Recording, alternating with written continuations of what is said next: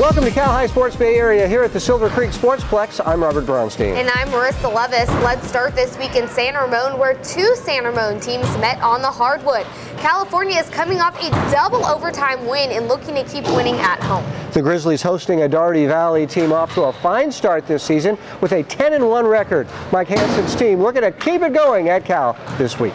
Contra Costa County Sports is brought to you by StatMed Urgent Care, the right care right now.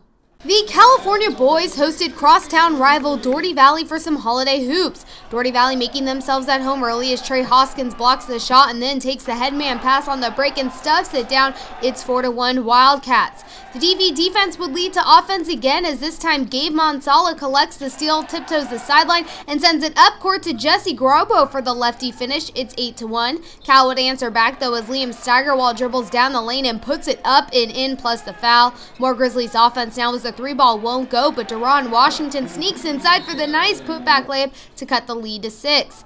Cal would keep striking as Steigerwald ventures outside the arc and slides down three more of his team high 10 points. Cats would get it going though as Grabow takes it baseline and knocks it down for the and one. It's 20 to 11 DV. Dougherty Valley showing off from distance now as Grabow hits Manansala in the corner and he buries the triple. Cal would fight back with the shot clock winding down. Ryan Kwong catches and shoots to beat the buzzer. DV would answer though, as with the half running out, Grabow hoists a buzzer beater of his own to give the Cats a 17 point halftime lead. The second half would belong to Dougherty Valley as well as Kenny Tang. He drives the lane, spins, and scores, plus the foul.